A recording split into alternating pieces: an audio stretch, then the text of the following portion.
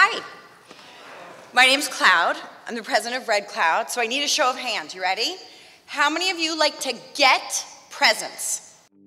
So I started my company 14 years ago out of my tiny little apartment in West Hollywood. We make promotional marketing items. We also design private label items. We're in about three primary markets. We're in the entertainment industry, we're in the Fortune 500 tech company industry, and then we also get to work with companies that have just noble and worthy causes. We try and do local as much as possible, not just for all the cost benefits and for all the community benefits, but we're also completely neurotic and controlling and we want our merchandise to be perfect. We think about things for clients day and night and when something delivers, we're still thinking about it. We're still thinking, oh, how could we build it better next time? When I was a little girl, my dad said to me, Redhead, the luckiest man on earth. I love what I do, I'm good at it, and when I'm winning, I want everyone around me to be winning too. So I took that to heart, and when we're winning, everybody on the team is winning, and then everybody in our community is winning. We were looking for an opportunity to partner with somebody who could help us grow small businesses, especially in our inner cities. So we were introduced to the Initiative for Competitive Inner City and their Inner City Capital Connections program, where we were able to identify, nominate, and bring together 100 plus small businesses in the part of Los Angeles that faces issues again around unemployment and economic insecurity and bring them together to help them with education around business, finance, strategy, human resources, and to provide them with an opportunity to gain access to capital and grow their businesses. Red Cloud Promotions, I think, is a great example of a business that started very small grew themselves as best as they could and did a great job. And now hopefully as we start working with them through this ICIC process, they can basically soar. So I showed up and the very first speaker was about strategy.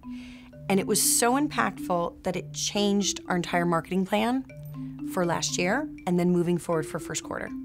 When I presented in New York to the panel, it actually did not go very well at all.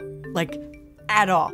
This is not an investable business. The overwhelming criticism, or the ripping me to shredsness, was it was more like, why would we invest? You just want a small amount of money. Maybe you should kind of hone in more on certain verticals to expand for growth. Our definition of success for a business like this would in fact be to go deeper on the environmental and the eco. We have always been eco-efficient. We've always been sensitive to the environment and reducing and reusing. So one thing that I gleaned from presenting to that panel was them pointing out, listen, this is one of your strengths. This is not what everybody does.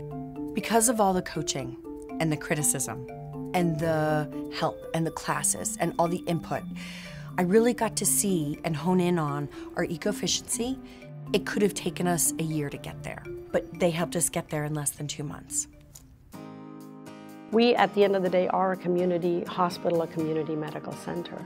We take that accountability, that responsibility very seriously. And at every turn, we see that as an opportunity to serve our community even better. I think there is so much opportunity for Kaiser Permanente to play a meaningful role in this, in helping communities build strong economic structures, allowing people access to jobs with living wages, and ultimately to create that virtuous cycle that ultimately will lead to good decisions and healthy behaviors. But if we don't go upstream and first tackle those very difficult problems, we'll never get downstream and talk to people about eating well. We just will never achieve the goals that we have for total health for our members and for our communities.